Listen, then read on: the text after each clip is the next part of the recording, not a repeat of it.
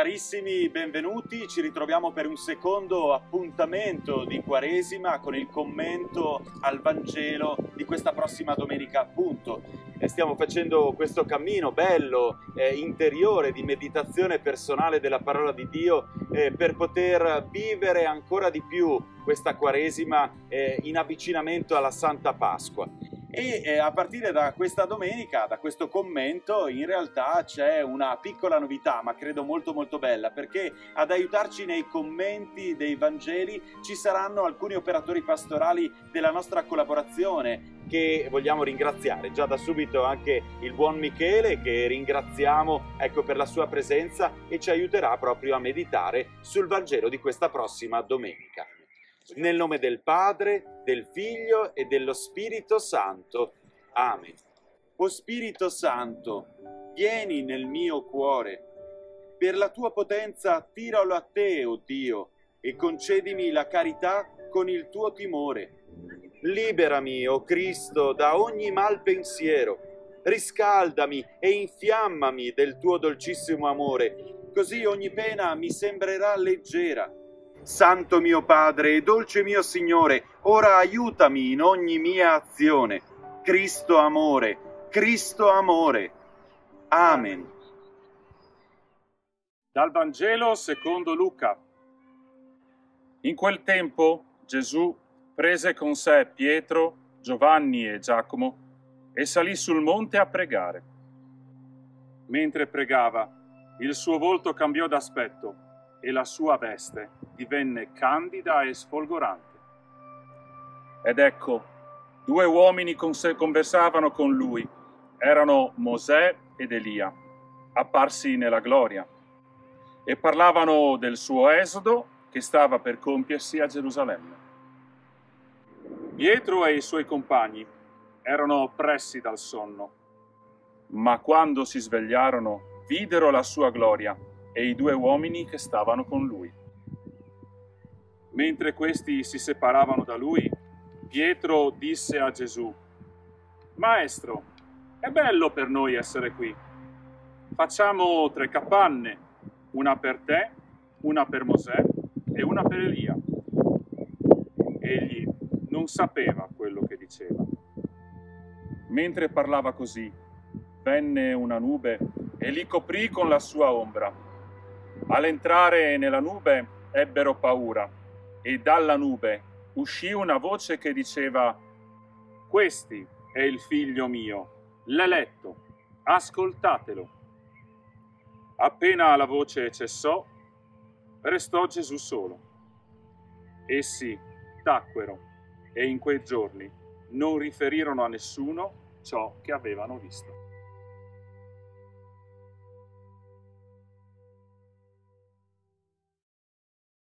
Vediamo allora quale potrebbe essere una chiave di lettura che ci aiuti a capire meglio questo brano, inquadrandolo nel contesto delle cose che sono successe fino a poco prima, perché questo è un momento di vera crisi. Vediamo che a un certo punto Gesù comincia ad avvertire i suoi discepoli del fatto che il potere politico e religioso del suo tempo non tollereranno la sua predicazione e la sua azione. Infatti li, li avverte che eh, lui sarebbe stato messo a morte, ma poi sarebbe anche risuscitato. Allora Luca, che è il Vangelo che stiamo leggendo, non ci riferisce la reazione dei discepoli, però lo fanno Marco e Matteo. Ci dicono che i discepoli restano scandalizzati Pietro addirittura lo piglia da parte e gli dice senti qui devi cambiare musica. Sappiamo che Gesù reagisce dicendo a Pietro stai zitto, addirittura lo chiama Satana. E poi, e questo ce lo dice anche Luca, ci dà questo forte ammonimento, ci dice chi vuole seguirmi deve prendere su di sé la sua croce ogni giorno. Insomma, la situazione è questa. Gesù ha iniziato a insegnare, ha compiuto anche dei segni prodigiosi e questo gli ha dato un bel successo, un grande seguito, folle intere che gli vanno dietro. Però lui sa che le autorità politiche e religiose non tollereranno quello che lui sta facendo e che se continua così la sua strada finirà sul Golgotha. In più c'è il problema che i discepoli non hanno capito bene chi lui sia.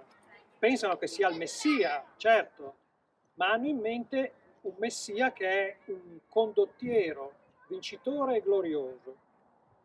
Invece lui è ben altro Messia, è il servo sofferente che ha preannunciato Isaia. Il significato di questa scena può essere doppio. Prima di tutto c'è il significato che è collegato a quello che ho appena detto, cioè che per Pietro, Giovanni e Giacomo, anche se sul momento non capiscono del tutto, ma poi ripensandoci arriveranno a capire che in questa scena Gesù si presenta come il vero Messia che è. E il secondo significato è quello per il quale Luca ha scritto questa scena per presentarla ai cristiani del suo tempo, per i cristiani degli anni 80 d.C. Questa scena è la conferma che Gesù è davvero il figlio di Dio. Un ultimo dettaglio per completare l'inquadramento, lo accenno solamente, è quello che troveremo nell'ultimo versetto del Vangelo. Resta Gesù solo. Vediamo adesso il brano evangelico.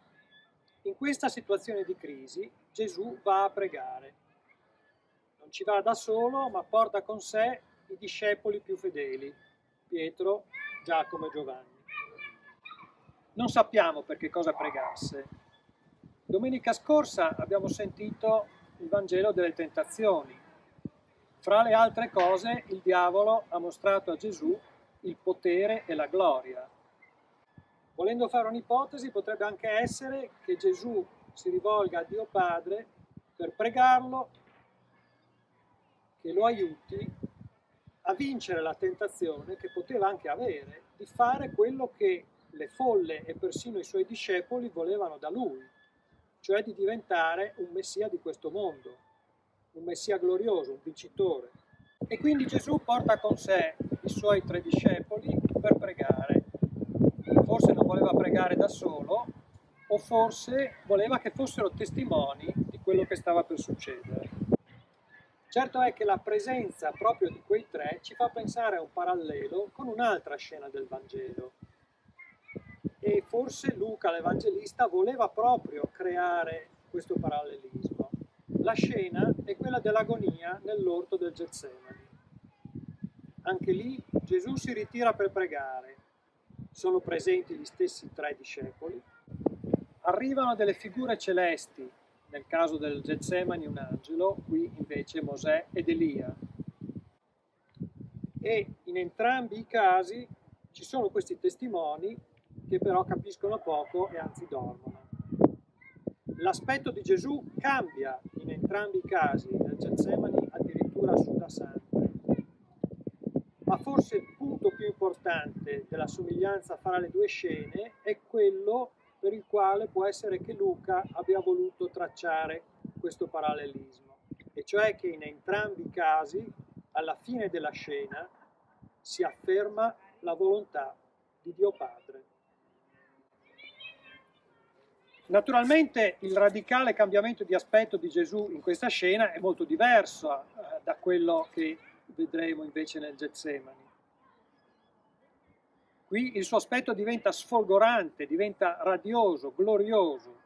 Addirittura cambia anche il volto di Gesù. Possiamo immaginarci lo stupore, ma anche la gioia, la pace, la serenità che devono aver provato Pietro, Giacomo e Giovanni davanti a questo spettacolo.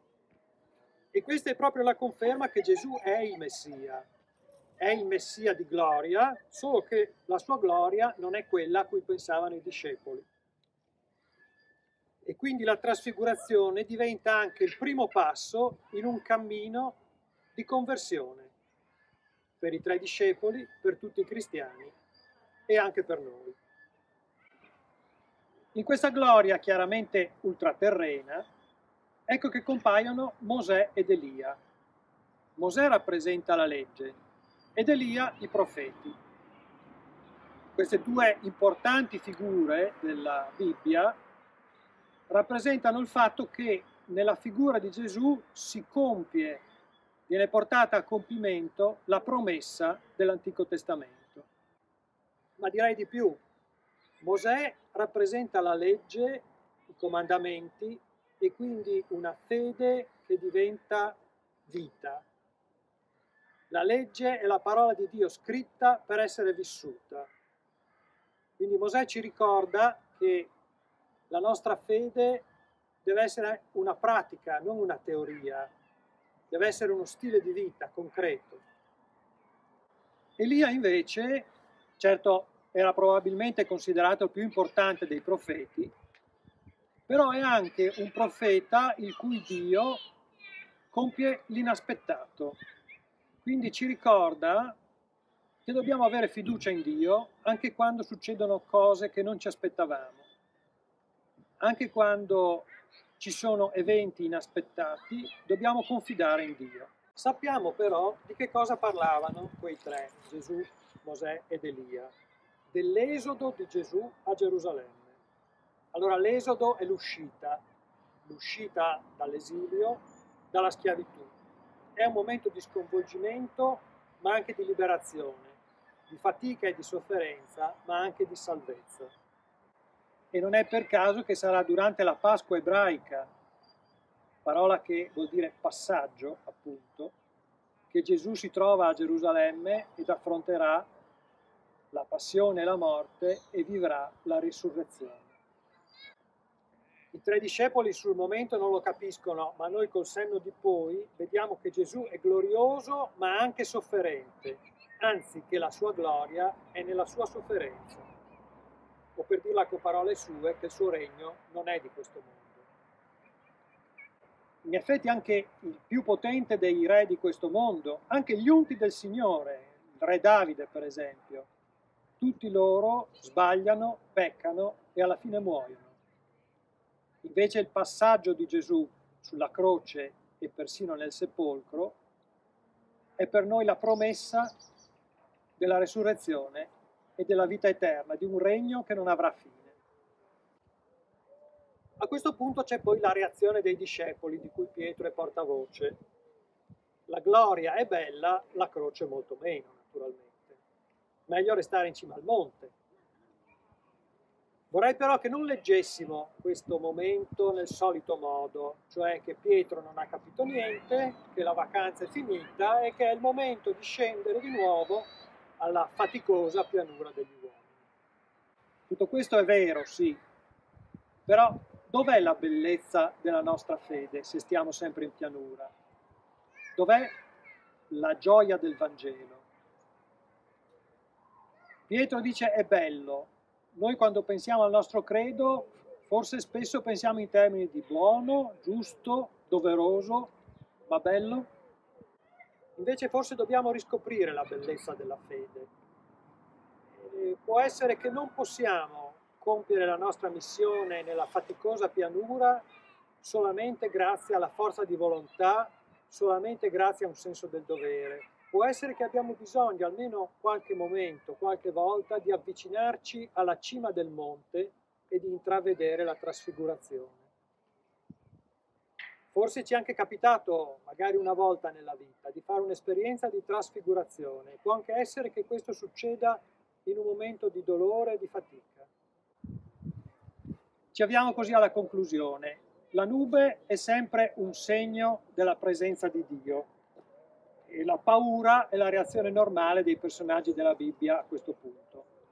Una paura che forse abbiamo anche noi quando abbiamo l'impressione di sentire il sussurro di Dio, perché può essere che ci spaventi quello che lui potrebbe dirci. Ma la voce del Padre ci dice una cosa molto importante. Conferma per i primi lettori di Luca, ma quindi anche per noi, che Gesù è veramente il figlio di Dio. E poi con una sola parola ci dice che cosa dobbiamo fare, ascoltarlo. Peraltro Gesù era stato presentato così come figlio di Dio già in un altro momento importante, il momento del suo battesimo. E siamo alla fine, ci resta forse qualche dubbio? Qualche dubbio su chi ascoltare, su chi seguire? Un'indicazione molto importante ci viene da quell'ultimo versetto. I fratelli nella fede, maestri, soprattutto i testimoni, possono esserci di grandissimo aiuto se ci indicano Gesù solo. Adesso vorrei proporre qualche domanda che forse può essere di aiuto nella riflessione personale. Non sono certo le uniche domande possibili, ma possono essere un punto di partenza. In questo modo ognuno può cercare di leggere questo brano alla luce della sua esperienza di vita. Per esempio, percepisco la bellezza della mia fede? Mi è mai capitato di reagire come Pietro? C'è qualcosa che mi conforta mentre porto la croce, la mia croce? E che cosa? cosa significa la somiglianza di questo episodio della trasfigurazione con la scena del Getsemani. Cosa significano per me oggi le due figure di Mosè ed Elia? E infine, cosa significa per me ascoltare Gesù solo? Ecco, per fare veramente mio questo brano del Vangelo posso partire da queste domande o anche da altre, o fare una meditazione libera, magari con qualche piccola avvertenza. Per prima cosa posso fare silenzio per una decina di minuti. Se è possibile potrei andare in qualche luogo bello ed appartato, che sia un po' il mio Monte Tabor, dove isolarmi e meditare in pace. Poi posso invocare lo Spirito Santo perché illumini con la sua luce la mia lettura di questo Vangelo dentro la mia vita. A questo punto posso rileggere il Vangelo con calma, anche più volte, soffermandomi sul pezzetto, sulla frase o anche sulla parola che mi hanno colpito di più. E potrei annotare questa frase o questa parola e chiedermi come mai mi colpisce tanto, se la parola di Dio sta parlando proprio per me e per la mia situazione di vita attraverso quella frase o quella parola. Grazie Michele per questo tuo contributo importantissimo per questo tempo di Quaresima. È davvero bello vedere che ci sono ecco, dei laici che si mettono a disposizione della parola. Questa è davvero l'evangelizzazione che vogliamo esprimere anche dentro la nostra collaborazione pastorale. Eh, approfitto, eh, entro vicino a te per ricordarvi alcuni appuntamenti importanti che hanno a che fare con il tempo di Quaresima che abbiamo voluto intitolare Kenosis, eh, dove andiamo a riflettere su varie forme della povertà. E allora, eh, innanzitutto la povertà spirituale, beh, questo è un esempio, il fatto che abbiamo la necessità, sentiamo il desiderio di poter vivere la parola di Dio nella nostra vita anche attraverso la meditazione personale. E poi venerdì ci sarà l'appuntamento alle 19 in chiesa con la Via Crucis. Ancora domenica dalle 17 alle 18 l'appuntamento con l'adorazione eucaristica e eh, le confessioni a Plaino e subito dopo le 18 i Vespri con la lettura meditata della Fratelli Tutti, documento molto bello di Papa Francesco. Vi ricordo anche che eh, a partire dalla prossima settimana, così intanto uno eh, si prepara, c'è l'appuntamento importantissimo che ha a che fare innanzitutto con gli esercizi spirituali per la vita corrente Ecco, un appuntamento importantissimo, troverete sul nostro profilo Facebook tutte le informazioni, eh, siamo in comunione con gli uffici catechistico e de- della pastorale giovanile diocesana. E poi c'è un appuntamento speciale davvero molto bello, secondo noi, che ha a che fare invece con la riflessione proprio sulla povertà. L'abbiamo voluto intitolare in questo modo. Ecco, Pagnacco e Plaino aperte alle povertà del mondo. Si tratterà di un approfondimento e una riflessione anche con testimonianza di un giovane che arriva direttamente dall'Etiopia grazie anche alla Caritas diocesana. L'appuntamento sarà mercoledì prossimo alle 20.30 in chiesa a Pagnacco. E dopo gli avvisi parrocchiali, che insomma ci devono essere anche quelli, ecco, vi ringraziamo eh, per eh, questo vostro ascolto. Speriamo che la meditazione della parola di Dio possa portare buoni frutti e buona preghiera.